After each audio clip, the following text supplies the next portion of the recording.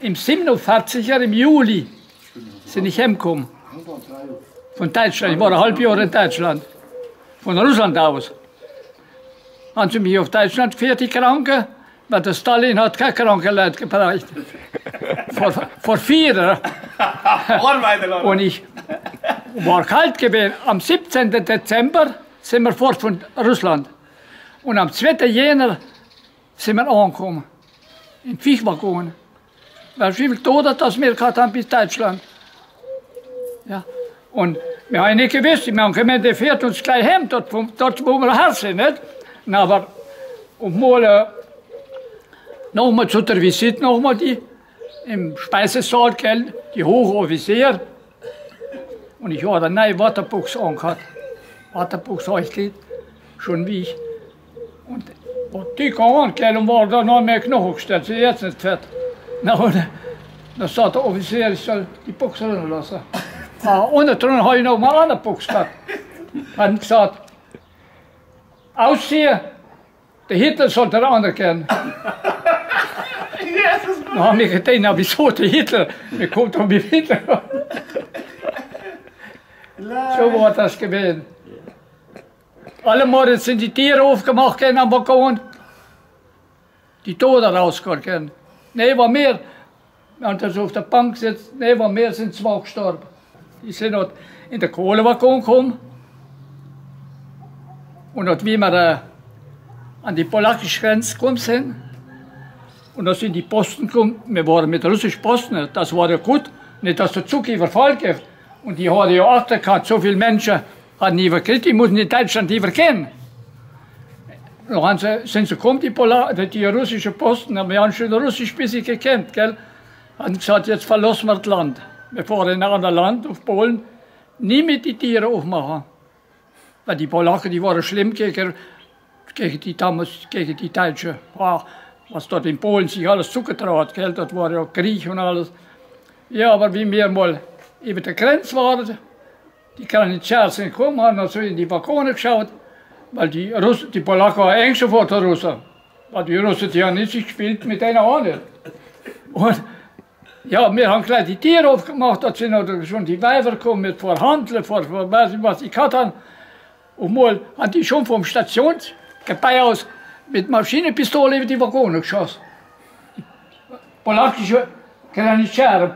Ja, aber wir haben noch die Tiere zugemacht. Und nicht wie wir aber in Polen waren, haben wir auf der Grenze in, in, der, in, in der Hauptstadt, wie heißt man die Hauptstadt? Äh, Warschau. Warschau. In Warschau, das, da sind wir noch länger sind wir noch Halle geblieben. Und äh, du hast den Jens Hans gekannt. Der Jens. Sein Schwervater, der ist auch runter und weiß ich wie, ist dort herumgegangen und fechten gegangen und der Zug ist abgefahren und sie nicht mehr. Dort, äh, die Polaken, die haben er erledigt. Ja. Kein Mensch hat mir gewusst, wo der hingekommen ist. Aber wie wir noch in Deutschland angekommen sind, am 2. Jänner, im 47er und im 46er an der Weihnachten sind wir, äh, vor Weihnachten, am 17. Dezember sind wir weggefahren. Na, und, äh, dort, das war noch schon organisiert, da sind sie schon an der gekommen, die Rotkreuzschwester und an die Waggone, die war stark krank war und nicht mehr haben können, die gleich ins Spital. Und wir sind dann in, in äh, Frankfurt-Oder, sind wir dort in der Großlager gekommen, dort sind sämtliche Kriegsgefangene in Frankfurt-Oder gekommen. Wir haben noch unseren Entlassungsschein gekriegt, russisch eigentlich heute noch, dass wir frei sind. Und ein Brief ver veröffentlicht ist, also die Offizier, also wir danken ähm, Vissarionovich Stalin, weil er uns die Freiheit geschenkt hat. Oh. Ja, stell dir vor. Wir sind dort mal, haben wir doch eine Landkarte gekauft, dass wir ja wissen, wo die Grenze ist. Verstehst du? Also aufgesetzt, vier Mann waren, waren Eichenhans, sein Schwervater, ich, mein Vater und der Rebs Septe, was aus der Komlem war, hast du gekannt. Dem sein Vater war mein Onkel, wir vier. Dann wir fahren bis an die Endstation, so wollen wir jetzt auf Tschanatow fahren, gell? Wir steigen aus, Rot war im, im Juni. war gut, Wetter schön, Sommer. Also, ja, die haben uns doch gekannt, wir waren anders da gewesen, gell. Dann kommt einer neben uns, sagt, ihr wollt sie nie bei heute Nacht. Ja. Also er fährt uns heute Nacht nie mehr. Na gut, was wir zu zahlen haben. Also 10 Mark der Mann. Gut, aber wenn wir drüber sind, kriegen wir nicht Geld. Nicht jetzt schon zahlen. Also gehen wir, er geht so 50 Schritt geht er voraus, aber er mit uns nichts zu tun hätte. Es war ein kleines Städtchen dort, oder ein Dorf, was, wir haben ja nicht viel gesehen, gell? Es war noch hell, war, war vielleicht, oben, war vielleicht 9 Uhr. Also er es geht, das war damals schon die Quannenwächer asphaltiert. Und wir gehen, und das war so ein Anheh, sagt man von Weiden, es wird der Kalfareberg.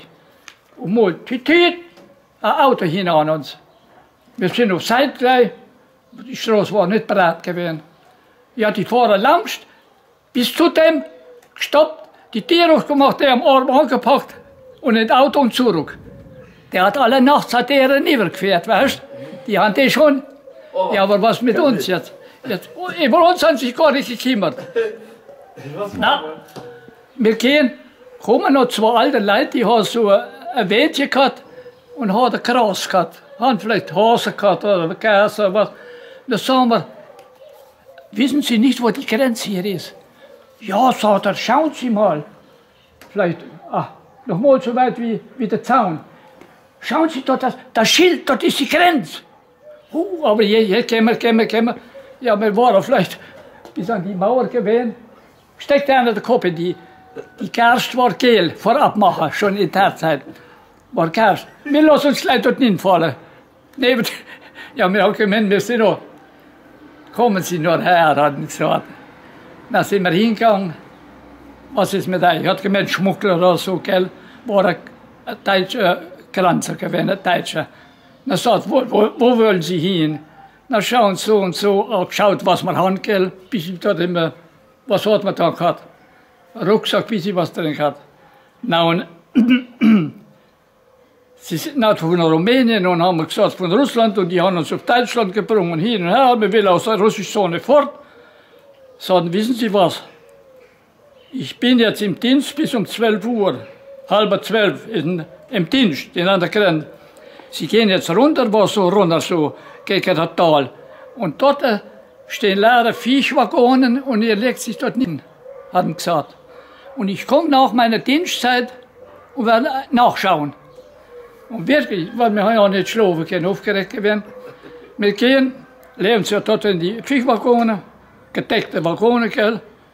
Und wie die Zeit war, leichten wir die Taschenlampen hin. In die Sache. Seid ihr da? Da, ja. Also hör ich mal, hat gesagt. Sie müssen aufstehen, bevor ihr Dach geht und gehen Sie bis auf die andere Gemeinde, weil wenn die da aufsteigen im Zug, haben die gerade Schere schon. Und wir sind ja, sind die Bahnlinie nachgegangen, was war nicht, vielleicht drei Kilometer, das nächste Station.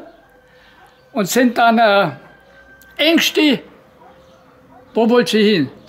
Passau. Bis Passau. Ja, wir sind in der Zug, der war so voll, so, war kein Schnellzug. War. In der Zeit war das war noch in Griechenland, das waren noch die Linien nicht überall repariert.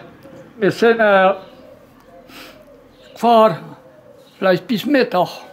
So lang sind wir gefahren, war doch weit. Und dann sind wir in einer Station, dann hast du gehört von Fulda. Fulda. In Fulda reingefahren, naja, da steigt kein ein und steigt kein aus. Na, wer ist denn da? Hinausgeschaut zum Fenster, hoch Polizei. Der Zug war umstellt mit amerikanischer Polizei.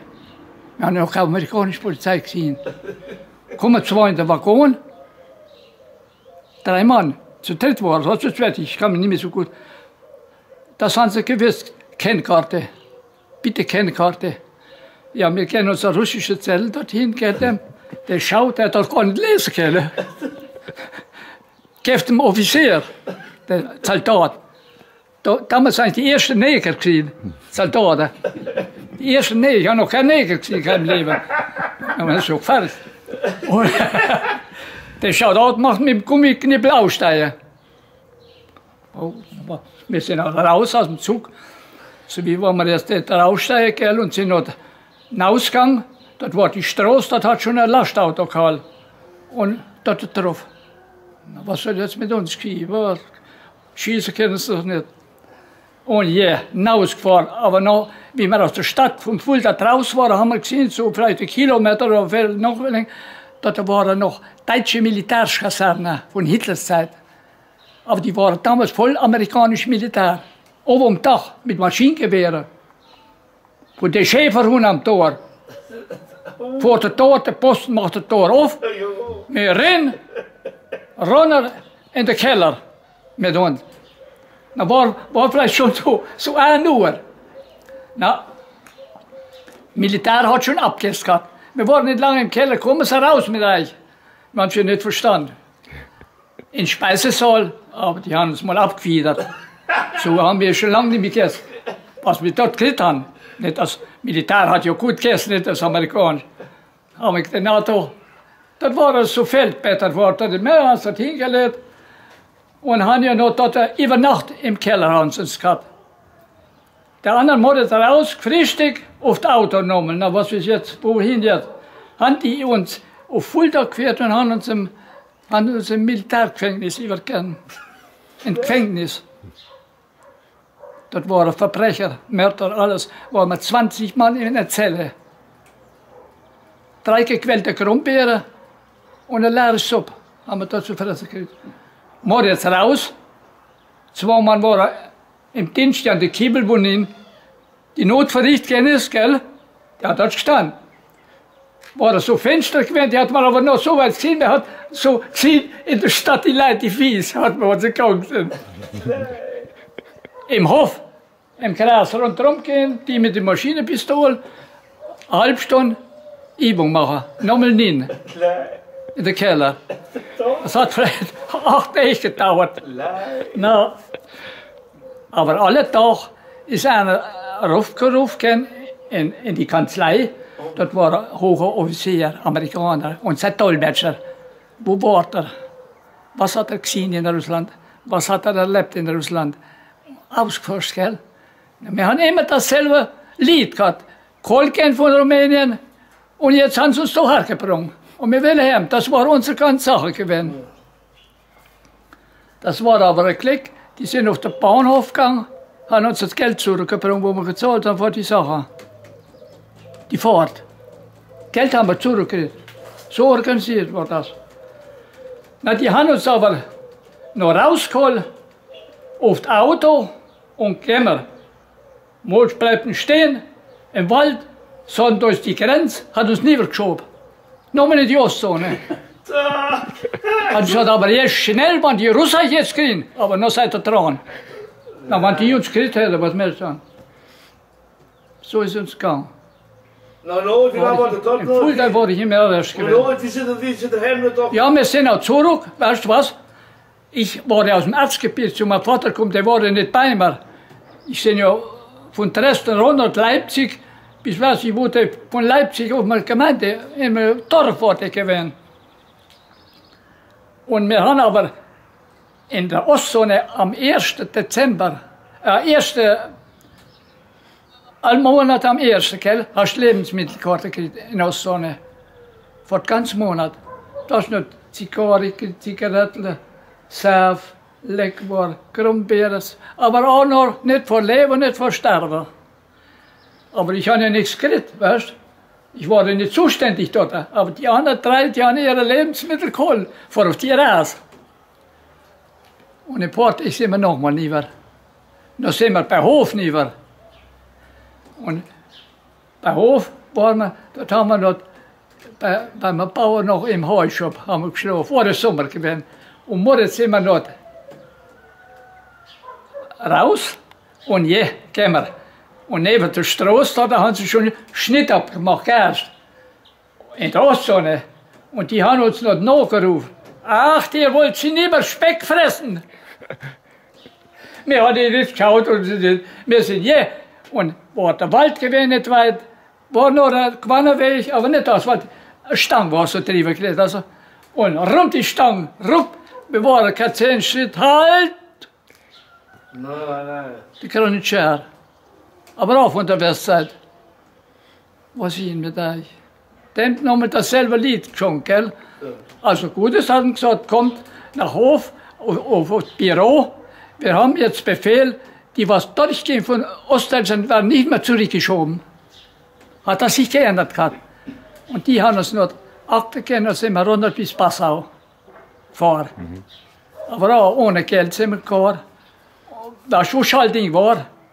Schalding hast du schon gehört von Schalding, neben Passau. Dort neben der Donau war ein großer Lager gewesen, Baracken. Dort waren Flüchtlinge und wo schon vom Militär daheim waren. Und, und dort waren wir noch gewesen, ein Stück zwei, drei Tage. Und haben dann, äh, sind dort heimgekommen. Von dort mit dem Transport bis äh, Großparteien. Und wie wir in Großparteien reingefahren sind auf der Bahnhof, ist mir rumänische Soldaten schon der Zug umgestellt gehabt. Bis das sie noch geklärt hat, die haben gemeint, das sind Kriegsgefangene, weißt Ja. Da waren wir ja frei.